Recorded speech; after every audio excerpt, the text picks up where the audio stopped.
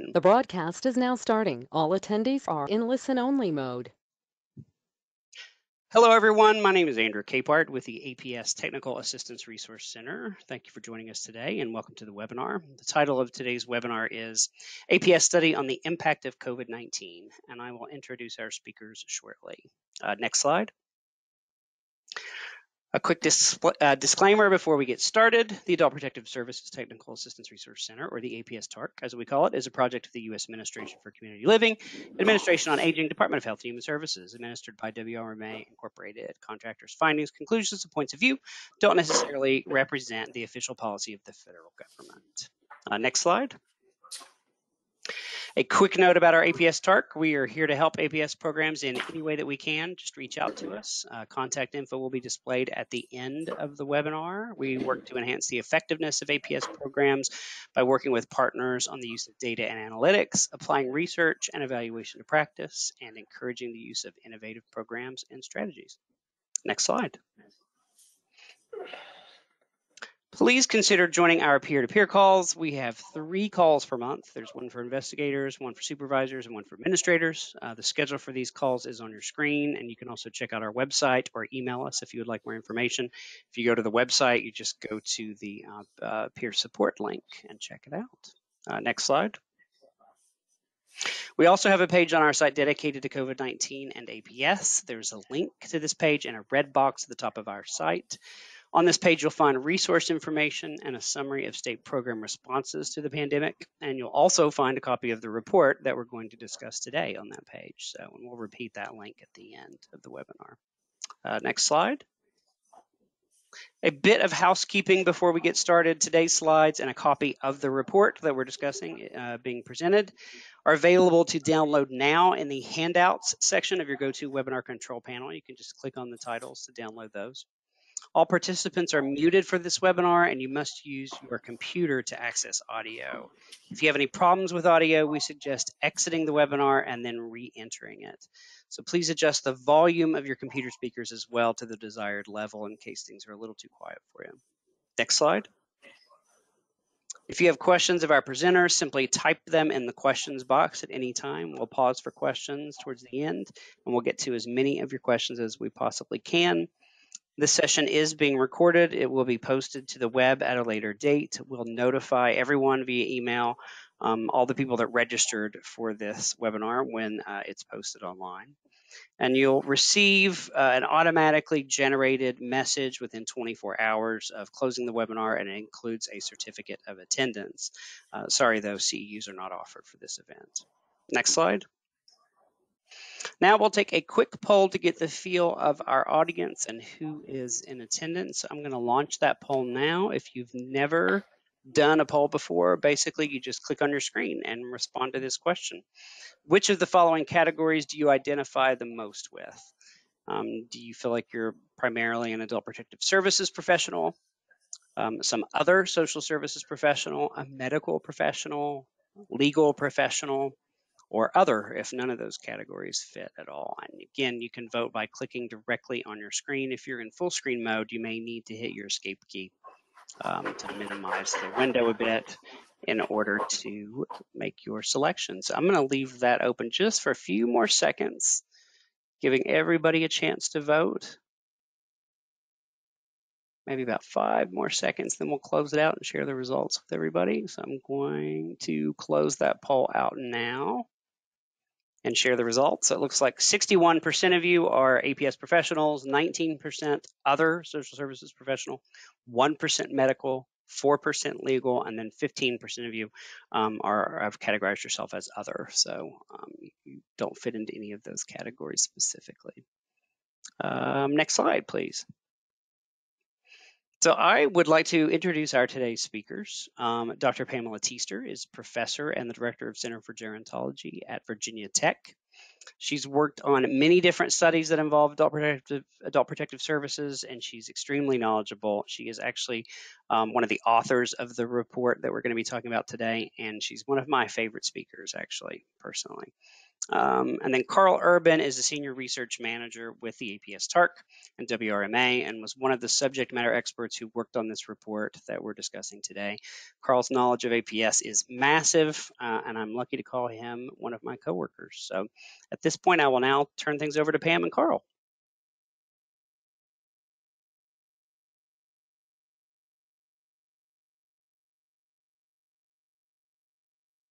And it looks like we may have our speakers muted. So you may need to hit the unmute button. There no, that was my fault. Uh, that was my fault. Um, so next slide, please. Um, uh, and, and, I was primarily muted because of the, the dog in the background that you may now be hearing. Uh, this study has an interesting history.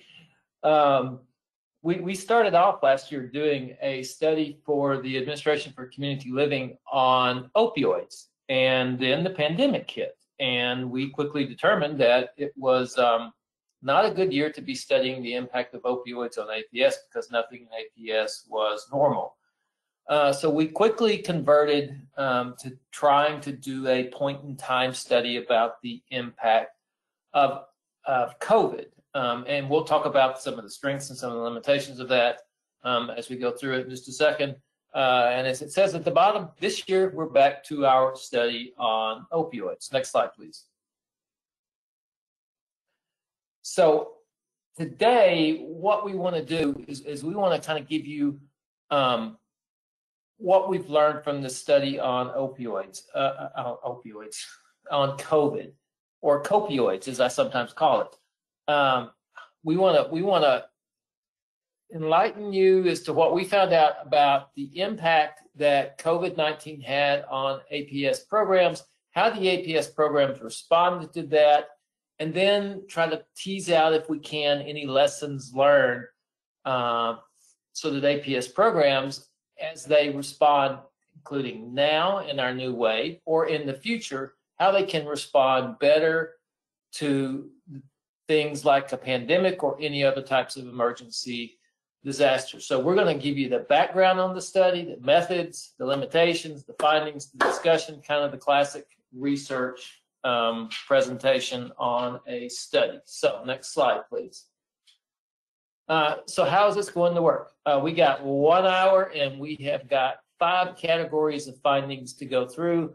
Um, and we want to give you guys some times to talk at the end. So we're going to go fast.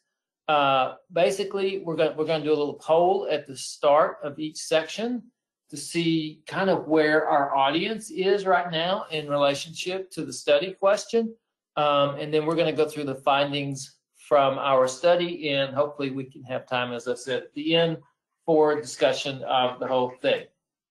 So um, the purpose of the study on the next slide um, was to just take a look at how did APS programs respond to all of the changes that COVID-19 brought to them and what impact did those changes have on the programs. Uh, it wasn't really more complicated than that. We tried to look at, at five different questions, um, as you'll see on the next slide.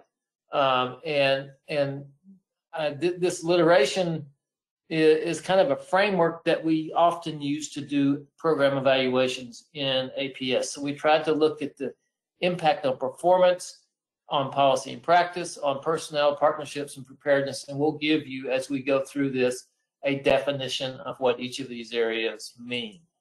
And with that, I'm going to let Pam tell you about methods since she was the primary researcher. Well, thank you, Carl, and I'm glad, I'm very glad to get to, to be on this presentation with you. You are fun and high energy. And Andy, thank you for the introduction.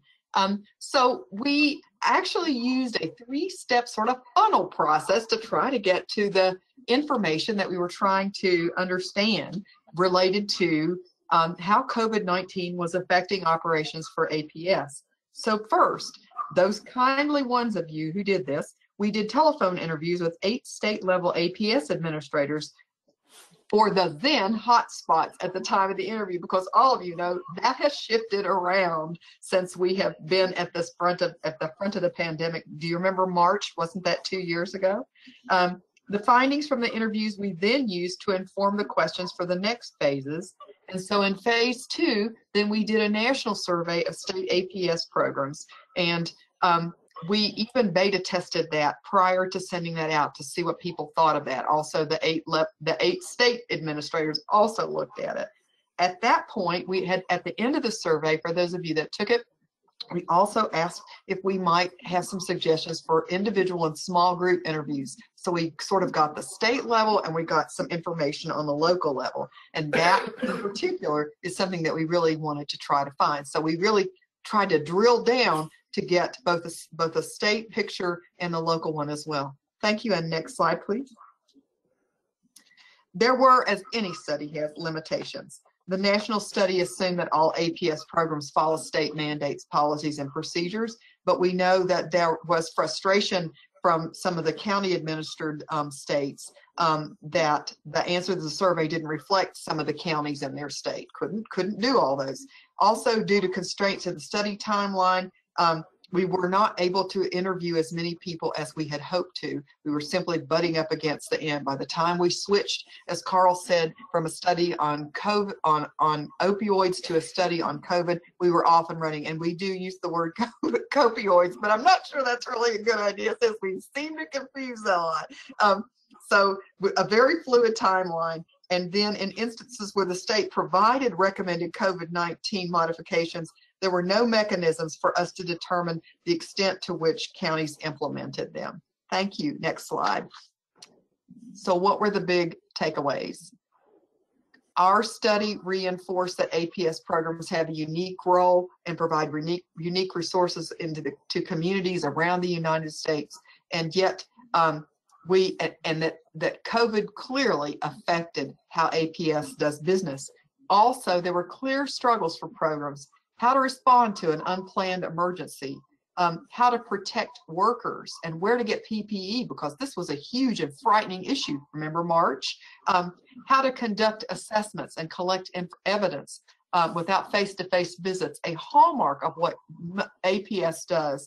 Um, how to support community partners who need front who needed frontline resources and how to work remotely, particularly for those who didn't have equipment or processes in place to support the doing of that. Next slide, please.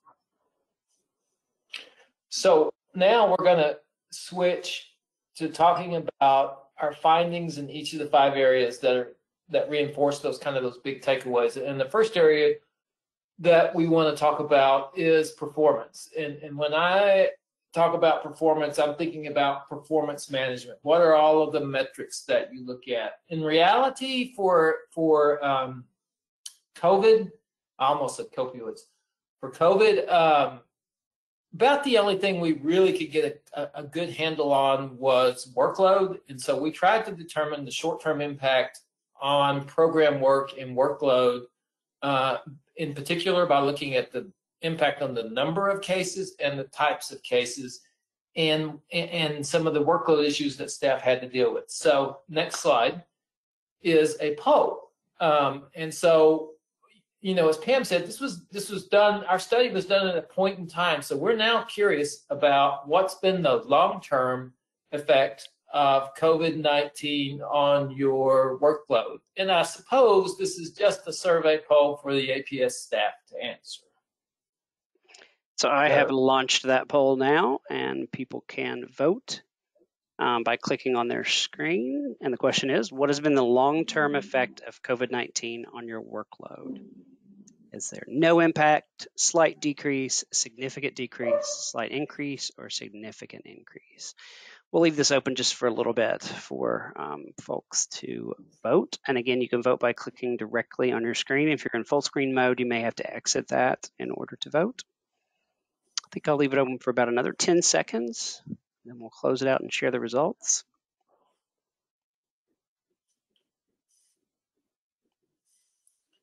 I'm going to close it out right now and share the results of that poll with everybody. So it looks like the majority of folks had slight decrease at, I'm sorry, the majority of folks had a slight increase at 41%. Um, the least was a significant decrease at 4%. And I'll hide those so we can go back to our slides. And so, going back to our fluid situation point in time, as we go to the next slide, the poll results are not consistent with what we found. Um, because the poll was asking you, and I assume you answered based on your long-term experience. And so as we were going through the period of the study, in, hmm, I guess, June was when we did the survey. Pam can correct me if I'm wrong about that in a second.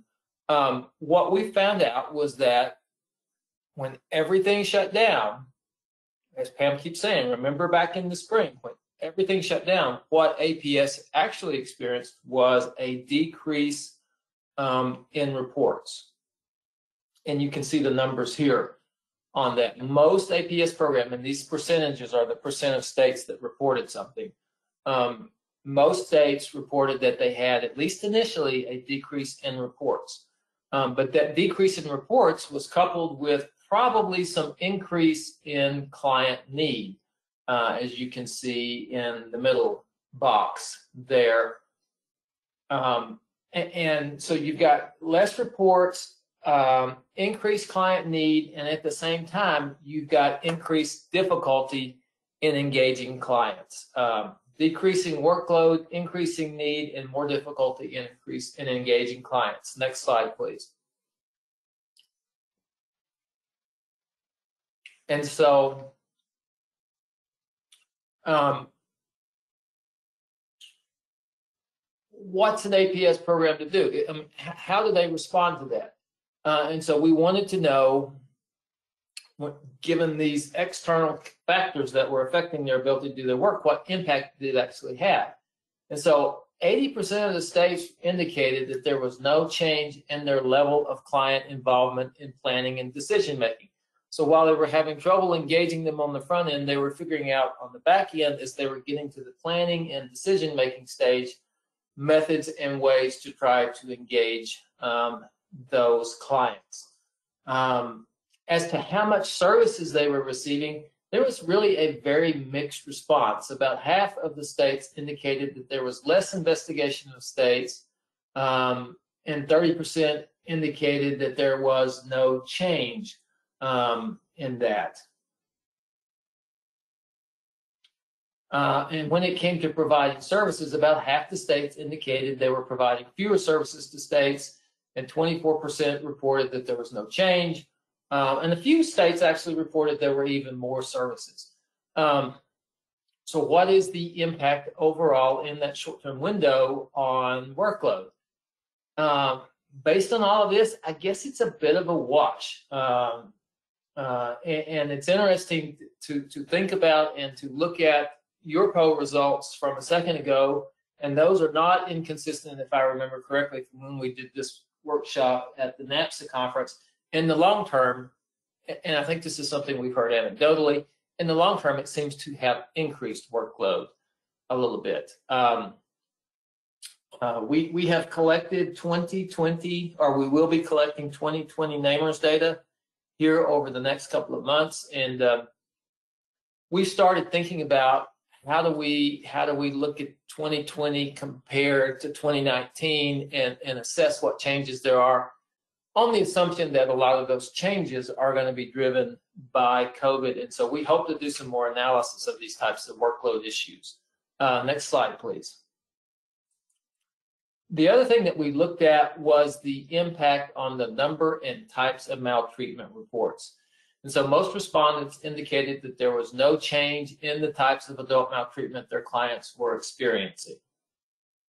Um, a, a third of the APS programs saw a small increase in the cases of self-neglect, um, and 23% saw a large increase in the cases of self-neglect. And given the shutdown status, the lack of the increased social isolation and the lack of connection within the community, that is not surprising.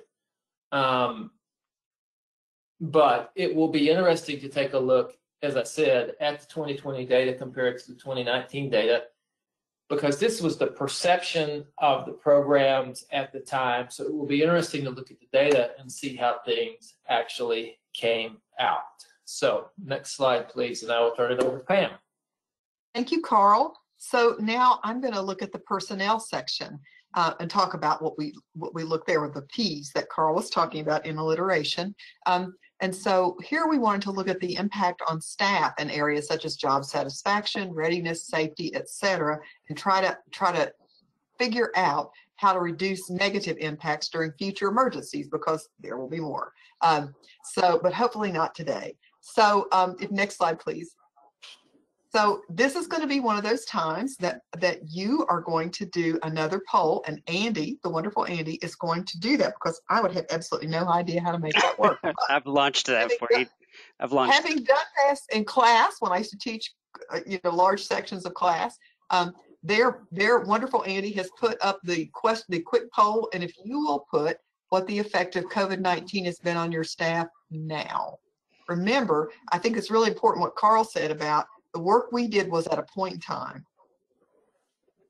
So we'll leave that open for just a little bit and give people a chance to think about it and vote. And again, what has been the effect of COVID 19 on staff, e.g., job satisfaction, job readiness, and safety? Has there been no impact, a slight impact, or a significant impact? So we'll leave that open for probably another mm, 10 seconds, giving folks a chance to think about it a little bit and vote. I'm going to close that out here in just a few seconds and I'll share the results. Right now, it looks like 61% said significant impact, 38% slight, and only 1% said there was no impact at all, Pam. So that's pretty that's pretty significant um, to to to say that there has been some impact and in particular over half or a significant impact. Thank you very much, Andy. Sure. So next And, slide. and, and I would, and every- and if you go back one, uh, back one slide, um, don't want to miss, put some of the notable impacts in the chat box for us. Um, that will be helpful. We'll try to look through those as we're going, have some discussion at the end. Sorry, Pam. Okay, absolutely. Fine. Um, okay, now to the next slide. All right, so we wanted to look at the overall impact of remote work. What has that been like for individuals? And so um, one of the things that we found that was pretty important was that that almost three fourths of the people who responded said staff had received adequate support from management. Um, over half had said that workers had tech support that they needed. Um, and then nearly half said workers had training support that they needed. But farther down were more confounding results. For example, worker morale declined at about the same worker morale improved.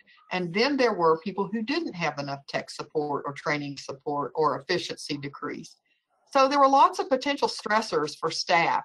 Almost all programs went to remote work at some point. A number of states reported taking on additional roles and responsibilities. So that created more stress. What were those roles? They included additional services to clients like health screenings, that was about 40%, 40 percent, assisting other organizations such as food banks and shelters, and that was nearly uh, that was nearly three fourths, and as well as the popular other, such as helping with cases of repatriation, provision of emergency information as a call center, enhanced communication with hospitals, in, uh, initial screenings of individuals who had positive test results.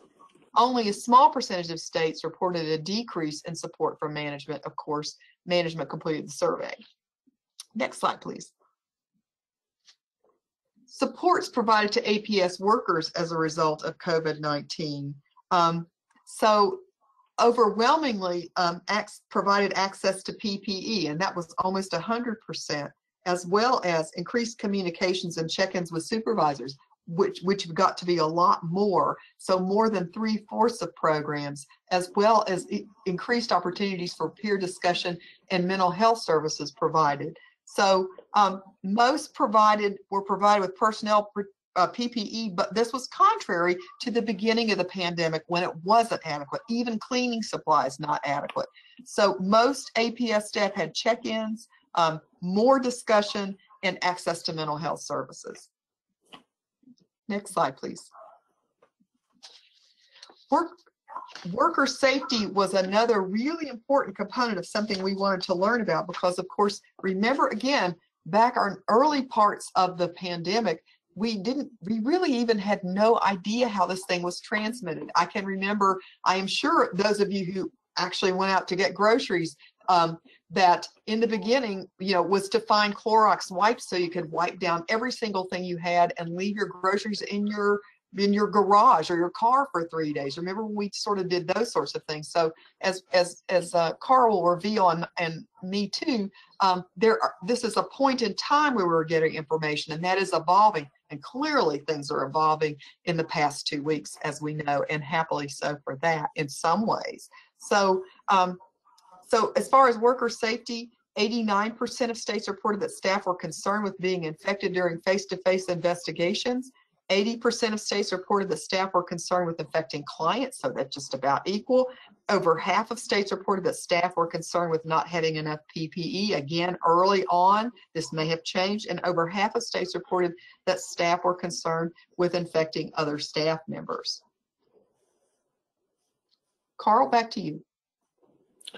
So the next area that we want to talk about is policy and practice. And so what impact did COVID have on those rules or those practices that drive how you conduct your investigations and how you interact um, with your clients? Uh, and how did the APS staff respond to these changes in policy and practice? So next slide is our poll on this topic. And so we want to know what has been the long-term effect of COVID-19 on your policy and practice.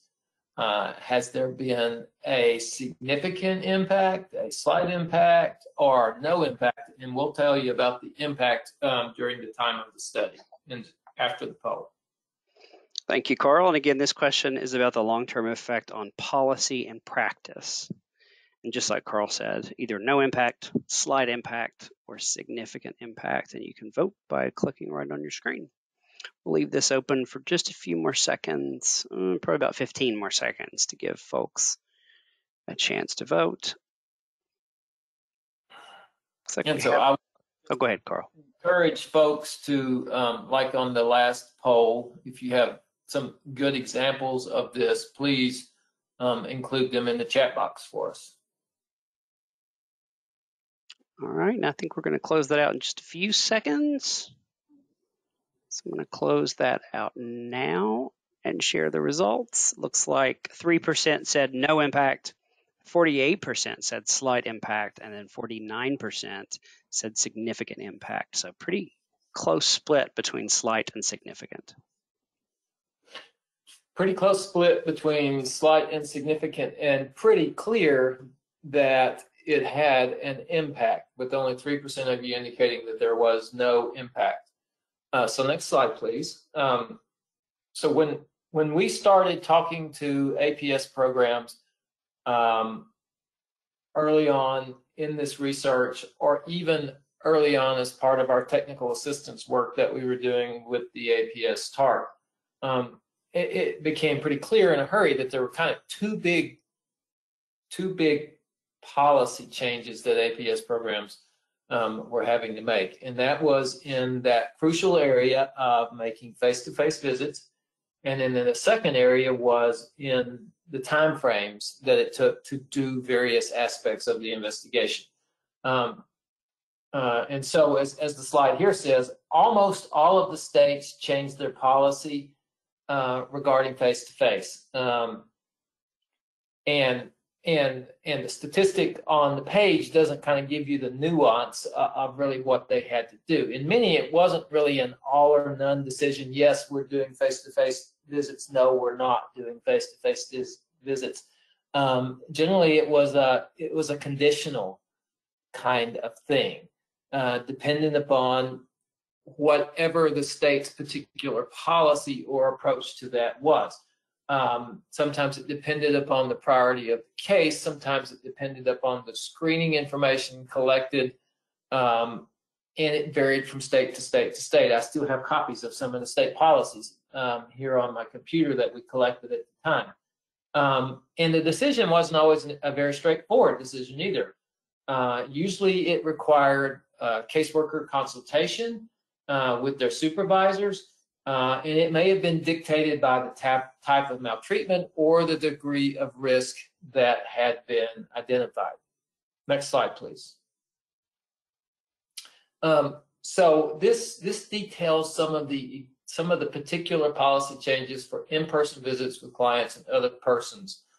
Um, and so you see that in, in most states, as I said a second ago, a face-to-face visit uh, could be made based on a consultation with a supervisor. Uh, in 38% of the states, they, they were continuing to make face-to-face visits for certain types of maltreatment. Uh, so you, you're more at-risk types of maltreatment, particularly physical abuse and sexual abuse. They were more likely to do a face-to-face visit. Uh, some states had something called significant risk, and that could be defined in the policy at the time that was promulgated. But for those 57% of the states, they would continue the face-to-face visits. 13% of the states responded, we are just not doing face-to-face visits. And then uh, 11% of the states said that there was no change um, in policy, and then 13% were at other. Uh, a curious thing to us from an APS TARC perspective is to kind of know where this is today, which we don't really know. But back in the summer, in the height of the pandemic, um, this is where the APS programs were. So next slide.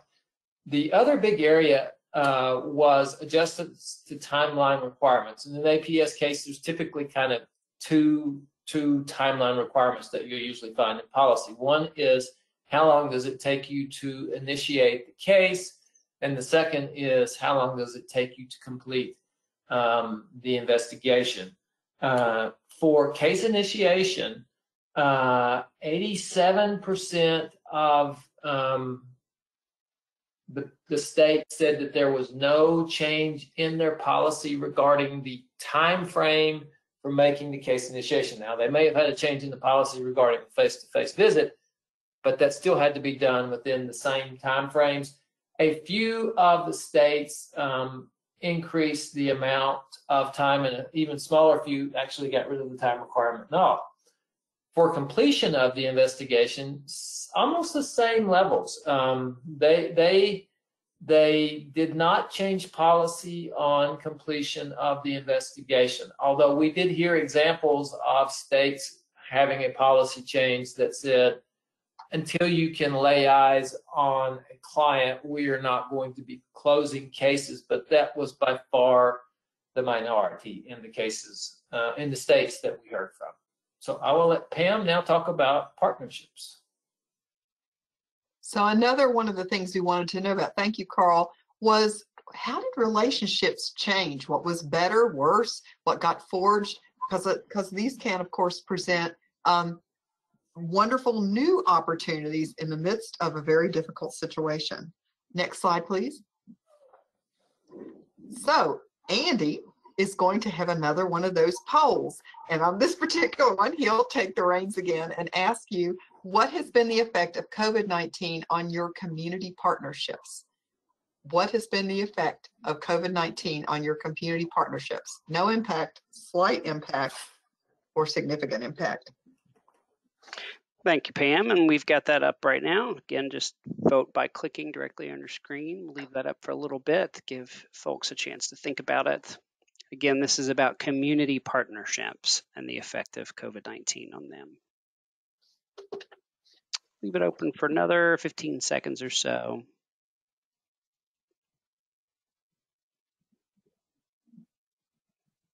Looks like about half of our folks have voted. So give it just a little bit longer. So I'm going to close that out here in just a second. So get your votes in. All right, now share the results with everybody. It looks like 54% said it was a slight impact, 34% said it was a significant impact, and only 13% said no impact at all. Okay. All right, so next slide. All right, so when we look at interaction with critical APS partners, um, and referral services because of COVID, we see a few things of, the, of interest. More than half of states re- reported no change in their interactions with mental health services, that'd be about 60%, food banks, almost 60, and other services, that would be about three fourths because of COVID. At least one third of states reported increases in interactions because of COVID with healthcare, that would be close to 50%, law enforcement, about the same, about 40%, and food banks, about 40%. Less than one fourth of states reported less interactions with critical APS partners and referral services because of COVID. That would include law enforcement, uh, about 20%, healthcare, uh, slightly over 10, same for mental health services, much lower for food bank referrals and other types of referrals. Okay, next slide and back to Carl. So the kind of the last area that we wanted to look at um, was preparedness plans. Um, and I remember being on a phone call with a number of APS administrators very early in this, listening to them talk about their continuous operations plans that they may have had in their agency. And so what we wanted to try to figure out was, okay, how well were the, had the agencies prepared for a pandemic particularly? Um, and, and then out of that preparedness, um, did that end up meaning that they were going to have staff and client needs that were left unaddressed as a consequence of that? Um, and so um, that's what we tried to take a look at. And so next slide, and our, I think our last poll is, was your agency or program prepared for a pandemic? Uh, it caught us by surprise. We had some plans and supports in place. And if you go back for just a second, I guess you can't. We had some plans and supports in place, or we had plans and supports in place that allowed us to quickly adjust. So not prepared, somewhat prepared, or significantly prepared. And you can vote by clicking on your screen. We'll leave this open for a while and give folks a chance to think about it and let us know what they thought. Looks like we got about a quarter of the attendees voted so far.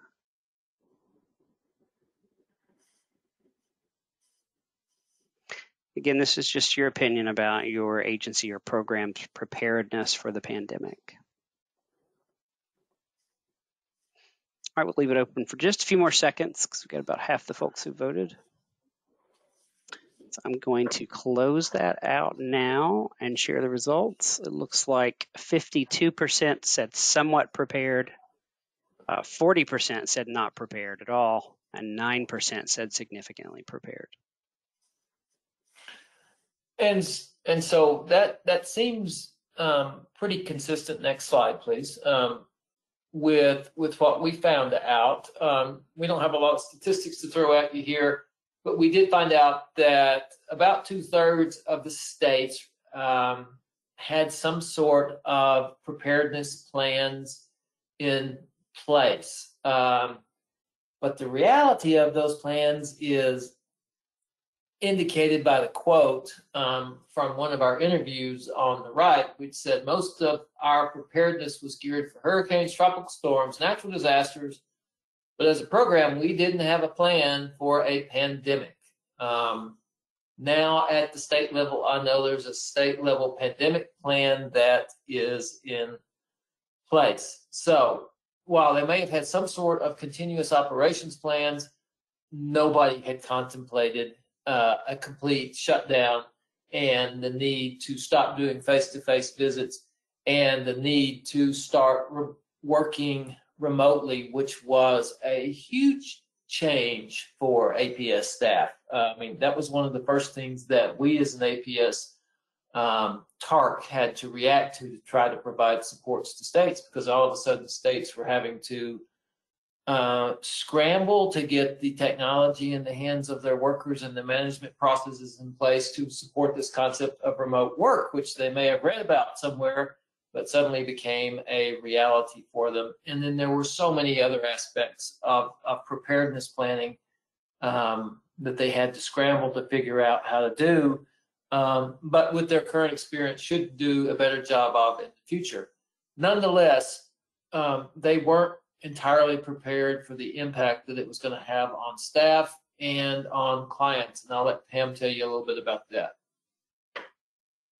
Thank you, Carl. So now with the next two slides, this one will be current needs for staff. Um, the states don't have an, have at all, or um, the states do not have at all or enough of. And then the next one will be for clients. So um, I, I, think this is really reflective of people who are working uh, for APS, but the first biggest need uh, at 60% was childcare. Um, and I am sure any of you with um, young children or taking care of young children, grandparents raising grandchildren, or whoever you are, can understand that one very well. So 60% for the greatest need for their staff was childcare. Work-related staff needs also included PPE, about half, internet capability, um, about 30%, and technology support, about 20%. At least one fourth of states indicated that staff needed emergency funds for their own financial problems, care for dependent adults, and mental health services, about 30%. 26% of states reported that staff needed emergency shelter, and 14% indicated their staff needed food banks. Next slide, please. Current needs for clients. Um, not surprising that that the big the big 60 percenters were technology support, relatedly internet capability, and relatedly emergency funds for financial problems. But close behind were needs for emergency shelters, mental health services, PPE, and care for dependent adults and then more along the 20% line or below food banks, services, childcare, other, and no needs reported. But I think those early significant ones for technology and internet capability are quite linked. Um, emergency funds for financial problems and shelter group together, as well as mental health services and so forth. Next slide, please. This is an easier or hard one. Um, questions. I'm going to let Carl finish off and then we can move to um, perhaps what you have to say while you're typing in the box. Carl can go to the last slide on the final word. No, well, let's let's pause here. Um, okay. So this is where uh, we want to pause and see what we may have gone through too fast or not deep enough that you may have questions about, or where you can relate to us how your experience was similar or to dissimilar what to what we described um, earlier in the webinar. Um, and in particular, we would be interested in any lessons learned out of this for those APS staff or even for those community partner staff that work with APS. What did you learn out of this, this unusual circumstances that we had to go through uh, that you're going to carry forward and improve your APS program or that you're implementing right now through this current wave um, with COVID. So questions for us, your lessons learned or your experience that's a little bit different than what we related. Andy, I guess we're only using the chat box, correct? Yeah, and there was a little confusion earlier about the chat box. Just so everyone knows, when you type in the chat box, it goes directly to us, and we're going to relay some of those concerns. But even if we don't get to relay some of those concerns, we'd still like to hear from you because we do retain this information and we can look at it later on. So feel free to type, um, you know, whatever input you have about what we've gone over today. I think first, what I'll do is summarize a little bit about some of the um, thoughts people had about the poll questions um, as we went through the presentation. Um, people shared a pretty wide variety of issues they were having because of the pandemic. One person noted an increase in stress, um, actually lost positions, and had inadequate coverage. Um, obviously, some people said staff were stressed out and how to accomplish their work. It was very difficult to complete investigations, or is difficult to complete investigations it's difficult to, and I'm sure everyone can relate to this, decide what incidents rise to the level of going out to see a client in person um, and which should be dealt with over the phone. Um, and then also the increase in work stress was hard to balance with their family life. Um, so people said they felt like they were just unable to do their jobs and unable to do their assessments and make sure that the clients were safe um, because they weren't seeing the clients in person. Um, and they were having difficulty linking clients with resources because some of those resources were no longer available um, because of the pandemic.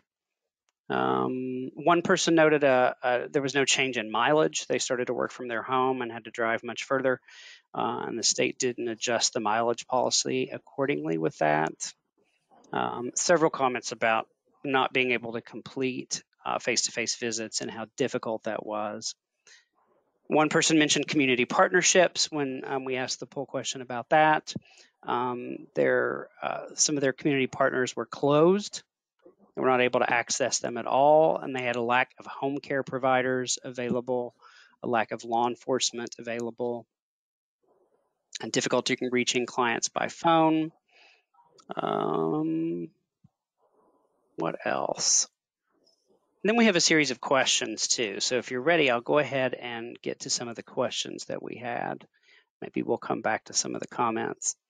Um, one question for both of you. How confident do you feel about the conclusions made since the sample size of the response was small?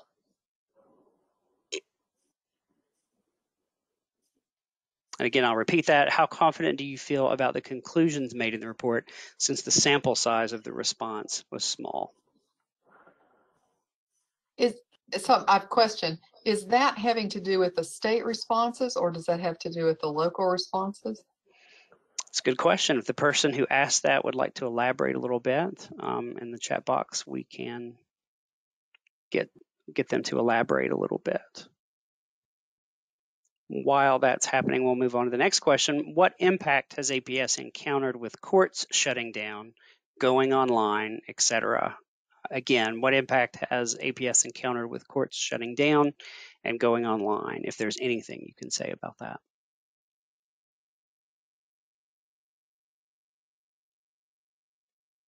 Pam, do you recall anything from the local interviews on that particular question?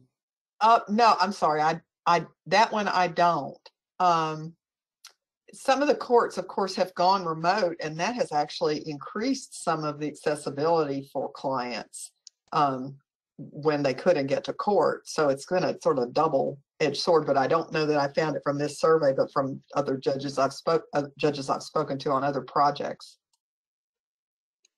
Yeah, and I, I, I do, I don't know. I know it's had an impact, but I, I wouldn't want to speak without further, without doing a little research on it. Sure. Yeah. It wasn't necessarily a part of what we looked at, it sounds like. Um, let's see, what was the number of states that were involved in the survey? Um, I'm going to look that up right now and I can tell you. Let me, but I'll have to go look at my report. So if we took another question, I'll go look it up. Sure. Um, another question, are there any plans to link these data from APS data systems in certain states? Um, again. So, again, I'm not exactly sure what the, the question is asking. Um, uh, you know, this data came from from our research, and so it doesn't come from any any state data system. Uh, we we do we we have been. Let me put it this way: we have been talking about how we would go about looking at state APS data to try to, particularly on the performance side of this, the workload side of this, um, figure out what the impact of COVID was. Uh, we are just starting that discussion internally, and it's just starting to try to try to think about, you know, what types of data from 2019 we would compare to 2020 and what assumptions that we would make about it. There was one comment from somebody else that said the, the term long-term impact can be difficult wording as we really don't know yet. We are still in it. Um, That is so comment made, true. And it is very true, I think, yes. Yeah, point well Uh, you know, I, I would go back to the, um, I- I would go back to the question about a small response rate. Actually, it's pretty good. Um, so uh, when we got the state responses, um, we got 47 responses. So 84% response rate was pretty, would be pretty good in my Yeah, I think you're right. So, you know, we had Um, that, we had the that one three-tier that system. left- Go ahead, Pam.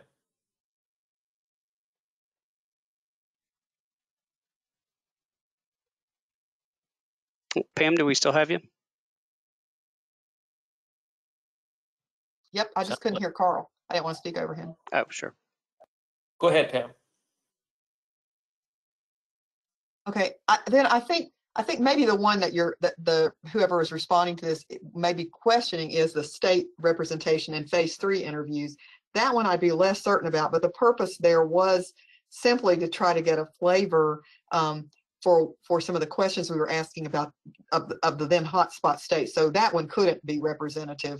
Uh, that was simply just trying to get a flavor of things. So Yeah. the, the larger state survey, not too bad, I think, but um, not too shabby, but the state representation, gosh, you know, you'd love to have more of those. And maybe, maybe when there's other monies, we could go back and ask about things there. But that, that certainly would be the one where it was just a sampling of information that we could get at the time.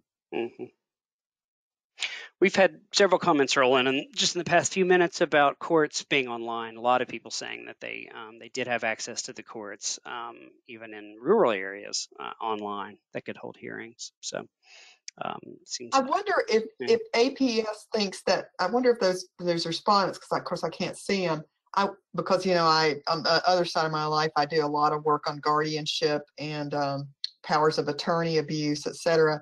And I wonder if the folks who are responding would see that this might continue past, um, past the COVID period, for example. Mhm. Yeah, the, the, the analogy would be, to amenable- Pam, we lost you for a second. I think it went on Sorry. mute. That's I, okay. I think, well, I, I,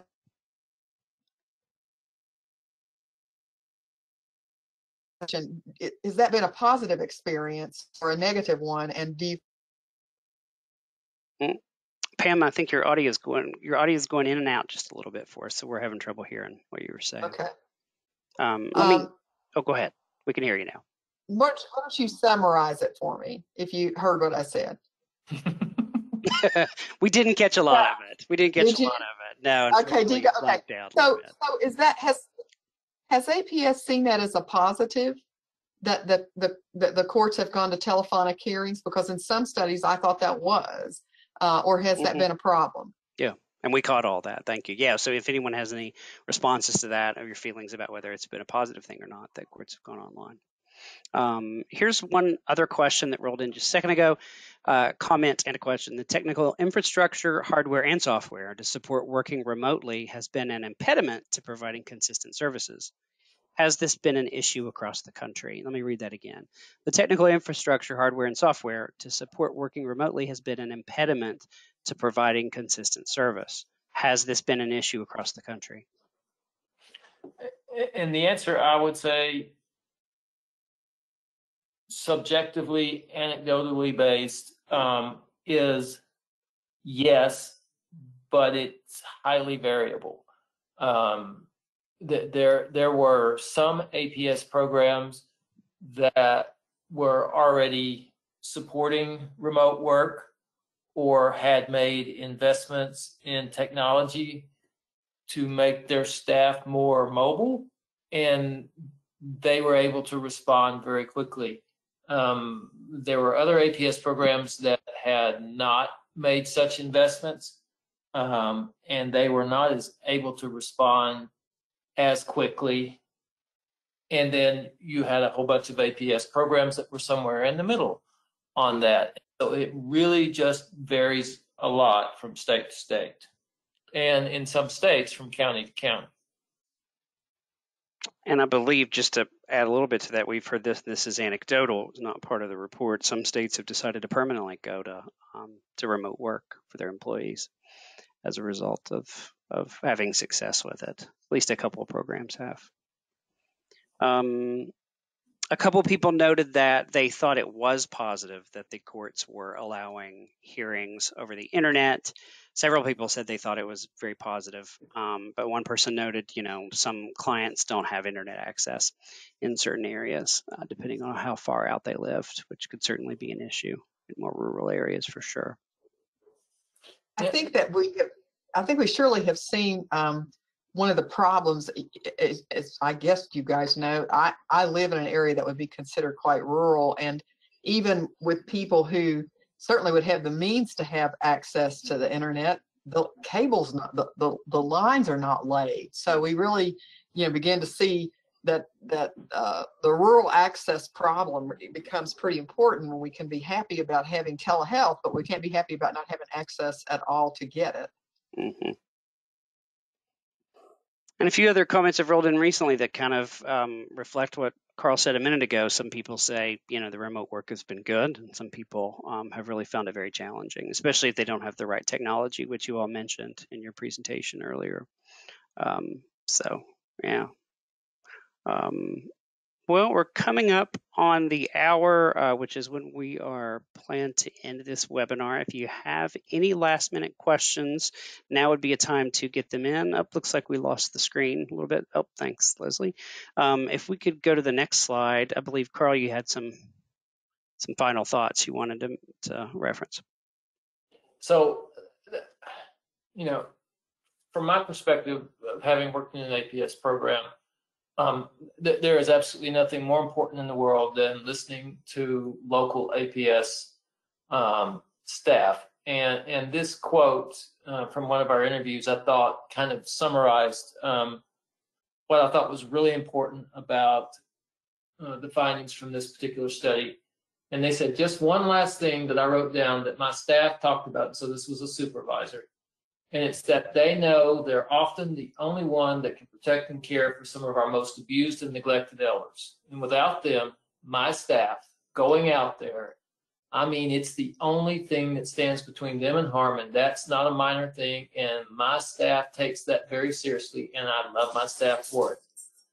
I have mad respect for them and how much they care about our endangered adults. So I just wanted to mention that because I thought it was important that they mentioned it to me. And so you will recall our first key takeaway was this study affirmed yet again the vital role that APS plays in local communities. And to me, this, this quote perfectly captures the essence of that idea. Thank you, Carl. I agree. I think that's a great quote. Um, if we could move to the next slide.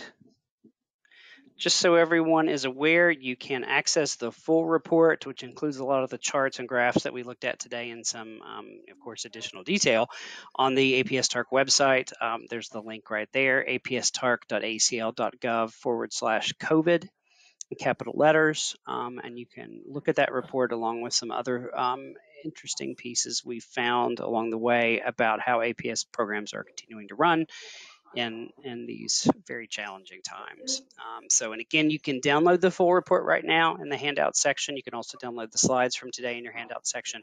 This webinar will be posted online as well as the slides from today within a few weeks. Um, and if we go to the very last slide, um, just to let people know if you want to contact us, again, there's our website and our email address, support at apstarc.net. If you'd like to reach out to us about anything, whether it's related to COVID or not, if you want to share your thoughts about what you heard today, and if you just have any, um, you know, challenges in your program, we will do whatever we can to help you with that. That's why we're here. So thanks so much for our speakers today, Pam Teaster and Carl Urban, for enlightening us on this report. It was very interesting stuff. Thanks to all of our attendees today for showing up and listening to um, this webinar. And I hope everyone has a great afternoon. Thanks so much. Thank you. Thank you.